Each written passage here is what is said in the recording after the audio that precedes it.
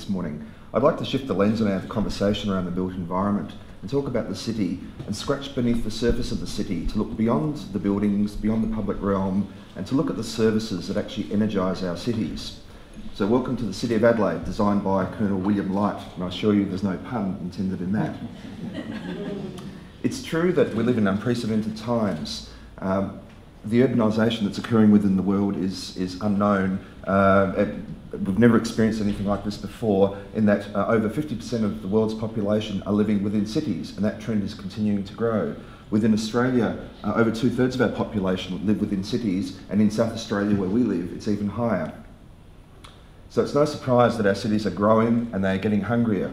They are getting hungrier for resources, for human capital, for social capital, for uh, energy. And uh, it's, it's that trend that we're seeing in terms of the demand for energy at a global scale. On the left hand side, we have a chart of global projections around energy demand, which demonstrate for developed countries uh, the increases in, in energy consumption that we've been having there. You'll note that there is a blip, and that reflects, I think, what's been happening with the global financial crisis, and there is a general tapering out in terms of energy. So things are starting to slow, but still the consumption is incredible. But when you look on the right to the developing countries, you'll note that there is an incredible escalation in the demand for energy. These are the developing countries where cities are built in time faster than it takes to get some development approvals in some of our developed countries here. What's interesting to note is that the residential energy use per household at a global level is actually decreasing. It appears that we are actually getting more efficient in the way we use energy in our households. But I will note that from this chart that in developed countries we are still far in excess exceeding the amount of energy that's um, um, required and, and, and used by developing countries there. So there is, there is a problem, there is a disconnect.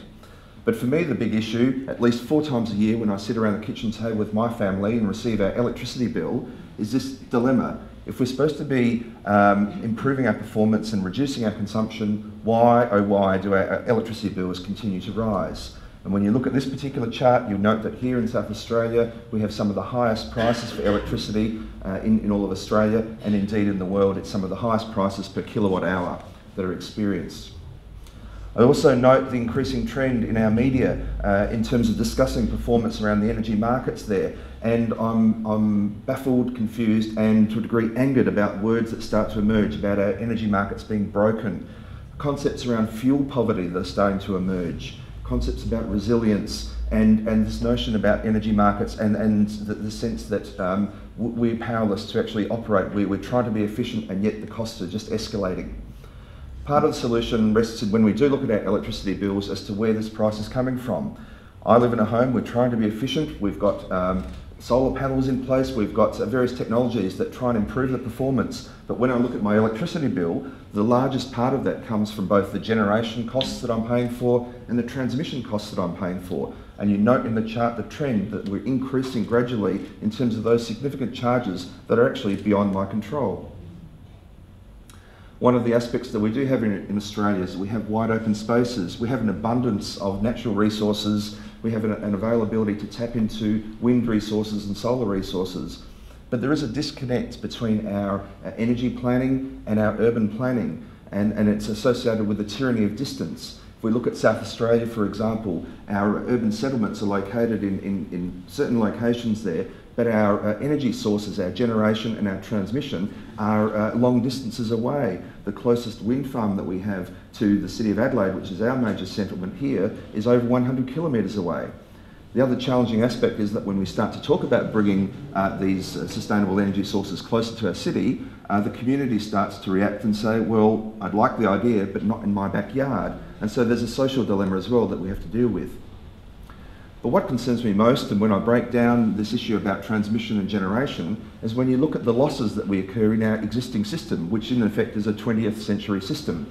So from 100 units of power that you might have at a uh, source point where you deliver fuel to a, an energy generator, there are losses of some 60% uh, associated with losses in heat uh, and, and the type of generation processes that occur. So if you've got some 40, 40 units of power that are being transmitted down the lines to our cities, but there are losses in transmission and losses associated with static electricity and, and just uh, losses associated with distance. So by the time the energy gets to my home, uh, you've only got some 30 units of that original 100 units of energy left. And then with the homes that we have, whilst they are getting more energy efficient, there are still losses that occur there. So out of a potential $100 that I might pay, I'm getting some $20 of value in terms of energy. That doesn't work for me. We need to evolve our current system of thinking from a, a supply-based system there, where we look at red dollars, red because it makes me angry, uh, and, and because we've got supply versus demand, and we'll get that supply at no matter what the cost. And we certainly experience it here in summer when we're paying up to $10,000 per megawatt hour for peak demand load energy. We need to evolve through, through the current um, thinking around green supply of energy, where we have um, uh, solar uh, photovoltaics, we have wind farms, we have renewable sources of, renewable sources of energy um, collectively contributing to our energy um, supply system. But the problem with that is that we still are running dual systems. We have our, our fossil world system and we have our green system, and we're paying double the amount. That doesn't work. For me, we need to move towards what I'd call the purple dollars, and that's really about where we start to integrate our supply and our demand within the city construct where we start to look at integrated energy systems that not only look at electricity but also at heating and cooling and, and the ways that we can tap into mixed use of buildings and, and the deployment of, of these resources around the city. There is a better way. In that way, it's not just about looking at potentially environmental benefits, but there's also social benefits and economic benefits. It's about reducing the cost of living, it's about increasing, increasing the competitiveness of our cities. So we need a better plan a plan that looks at defining urban growth areas so that we can contain ourselves within a certain ratio, we can look at the resources and optimise those resources. We need to better understand the relationship between energy planning and urban planning, and we need to look at how we can optimise the way that energy is generated, transported and consumed. Such a plan obviously needs to look at the higher lofty ambitions around policy, looking at the economic transition towards a carbon economy, looking at reducing the carbon footprints, and embracing and enhancing uh, the, um, the livability and the vibrancy within our cities. But essentially, from an energy perspective, it is about looking at that holy trinity, looking at um, energy affordability, energy sustainability, and looking at security and resilience of supply. And it's finding that sweet spot in the mix of those that I'd like to take you to. We've been doing some research. I don't just, uh, expect you to read through all of those points there, but the research is about uh, understanding what drives us in this space about energy here in the 21st century. And um, there has been a noticeable change in the last uh, year or two from looking at the, the, aspirations around carbon reduction and greenhouse reduction, very much more so towards the, the, issues of affordability, the cost of living, the cost of doing business. And these are the things that are driving people's concerns around energy consumption, as well as looking at uh, potential um, um, failures in the marketplace that might be associated with um, bringing online some of the greener technologies, the, the failures that might occur between missed communications between the energy planners and the urban planners. So I put to you the first of my propositions today, and that is that in order to optimise our energy potential for cities, we need to better understand the city's metabolism. Metabolism, what does that mean? Who's had breakfast here this morning? Hands up, quick. Thank you. Very good. You're all having your own little metabolic event at the moment. Metabolism is a chemical process whereby we take in food, uh, we, we absorb that, and the, the body uh, creates its own energy supply to keep the body going. We generate heat and, and we generate some waste product from that. Now, from an urban perspective, urban metabolism has been a concept that's been around for a number of years now, uh, and the same principles can be applied. Essentially, for a city, a city brings in its resources, it consumes those, it generates waste, and it expels that waste. From an energy perspective, we can apply that same thinking whereby we have natural resources that come into the energy cycle. We have a process whereby we generate electricity, so we're consuming that, it is transmitted, and then it's being um, used uh, in, in the various processes that we have that make up our city life. Squiggly diagram, as we spoke about earlier, uh, it gets much more complex when you start to overlay the, the energy metabolism with all of the other things that are going on with the city itself there. It gets so confusing, it's no wonder that our, our city leaders have difficulties in trying to grapple with some of the issues going on. I showed my son this particular diagram and he thought it was a maze, starting at one end trying to find his way out the other. And in effect, so I think it's, it's quite true. For me, when I try and explain metabolism of cities, for me it's fundamentally about the relationship between the land use of a city, the transportation that we have, and the infrastructure that binds it together. Overlaid with that is the relationship between carbon, energy, and water. And it's those elements that come together to define what I believe is the metabolism of the city. We can map the metabolism of the city with tools such as urban heat mapping, Um, these tools are making use of uh, GIS and some of the visualisation aids that many of you in this room probably already use. And it helps us to start to understand the potential of the city in terms of looking at how it can help to generate its own energy supplies, optimise its own supplies, to create low carbon precincts, high carbon precincts, whatever it might be there. But there are new ways of actually identifying what makes up an energy plan. And this example we've got uh, from Canada, uh, from a, a, city called Guelph, where they've undertaken community energy master planning to help to use the urban planning framework and optimise the way they use energy within the city so that you start to look at the use of kilowatts per square metre as, as a, uh, a key indicator of the success and the vibrancy and the performance of the city. On the right, we have our own City of Adelaide, where we're starting to have these discussions about what an energy plan might look like for Adelaide and where we might go with that one, starting with our existing infrastructure and then building from there. My second proposition to you is that by using urban planning as a design tool, we can optimise a city's metabolism. Uh, what this might lead to is, in fact, that we have limited urban sprawl within our cities.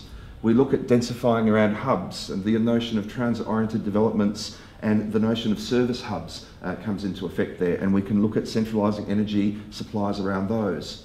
Building of heat networks. I mentioned earlier that waste is one of those key products that is just expelled. There's a potential to tap into that waste and, and see that as a new resource for generating energy and, and, and electricity for cities. Avoiding new centralised plant. We have a lot of existing plant in place there. There are opportunities to either optimise the existing or indeed look at new plant. We need to explore those. And integrating energy and planning processes are key things that we would focus on. In these ways, we can actually measure the metabolism of cities, both at a precinct scale, but in, indeed up to a citywide scale. And as I mentioned, it's about using tools that you already have in place, making use of uh, three-dimensional design tools, making use of uh, GIS tools, and making use of indicators that have been put in place by city leaders to help guide the direction of our cities. Here's an example where we look at a precinct within a city. Um, we've got an existing condition, there's a built form, we've got a transport network plugged into fossil world grid. There's a business as usual development that could occur on this site whereby we have buildings that come along one at a time there. There isn't a particular plan other than general planning consent and guidelines, but it really isn't sort of coordinating in terms of uh, energy efficiency improvements across that larger scale there. An informed solution might start to look at uh, mixed use development, uh, applying green buildings on the site there, looking at some uh, shared transportation opportunities, uh, maybe some solar panels on the buildings there. And an optimal solution can be then modelled to look at uh, the idea of distributed networks within a city, to look at the performance that can be deployed uh, and, and really starting to integrate through a master planned approach the performance of precincts within cities. And if you start to look at that, you can start to then link those precincts together to really optimise performance and metabolism of the city the modelling process that goes with the 3D design, uh, again, with tools that we've already got in place there, can link in those indicators. So it goes beyond the design to look at the, the actual performance of cities and you can generate results that look at reductions in energy, reductions in water performance. But beyond the environmental, it's also about looking at vibrancy in the cities. So there are ways of actually measuring the metabolism now within our cities. And so the key benefits are that you can start to look at the integration of, of distributed infrastructure, uh, looking at cheaper ways to live in our cities, uh, looking at ways of uh, reduction in, in consumption through design, and really about creating vibrancy in our cities. One of the uh, exciting um, cities, uh, city developments that I've seen recently is Barcelona, where they've been looking at um, city planning in, in, um, in three dimensions. I'll just go back to that previous slide there. In effect, they, their view of the city is in three planes, where they have what's happening at the ground level, which you would have experienced this morning walking around our city, uh, what's happening uh, below ground in terms of the servicing of the city, and what's happening above ground in terms of um, rooftop use, solar access, and the like. And uh, I find that it's a very exciting and, and innovative way of, of approaching city planning so you can start to optimise what's occurring. From an energy perspective in our city, there are other promising trends that are emerging. We're starting to move away from the notion of supply and, and focusing on that integration of supply and demand. Uh, we're starting to look uh, at um, the notion of negawatts or power that we can avoid rather than constantly talking about how many megawatts does your power station generate. We're starting to look at um, systems based thinking rather than object based thinking. So, how does an entire energy network work rather than just um, a particular plant online? moving from heavy technologies towards smarter technologies And then finally, we're looking at a community that's been disaffected uh, to, to really looking at an empowered community that is taking some key action in this space. And in this regard, I'm very excited about uh, two quick examples from from an, a more artistic perspective. This one in Finland, where some artists have worked in an installation to interpret what kilowatts actually look like visibly by projecting a community's energy uh, flow on a smokestack. Uh, so the, green laser pointers actually demonstrate what the community is, is, is using or consuming in, in, live time. And in this particular installation, they demonstrated that where the community looked to reduce its energy consumption, the green cloud actually grew bigger as people were doing that over that period of time. So you can imagine something like that for Earth Hour occurring here. So very exciting about how you can actually use art to interpret what uh, consumption is about and, and metabolism is about. The other one is from the Netherlands, where there's an installation uh, called D Station, which captures the pulse of the city through, through energy. Again, people can log on at home and, and tell how they're feeling, and community wide, they can actually collectively demonstrate through the colours that are projected how a city is actually feeling, from being angry to being uh, positive to being in love. Uh, and we all want to be in love, so purple there is the good colour in that sense. So it's some interesting examples of how we can use energy to help capture the vibrancy and, and the metabolism of our city. So energy master planning can help us to optimise um, city metabolism. We can rethink the way we actually approach energy utilities, the way we address consumption within our cities, uh, we can shift energy planning towards a more local level rather than being centralised, rather than having plants that are hundreds of kilometres away from our cities, looking at how we can generate and consume electricity and energy within our cities. And it's about adopting an integrated approach towards supply and demand, towards the way our, our city leaders actually collaborate between energy planning and the like. Thank you very much.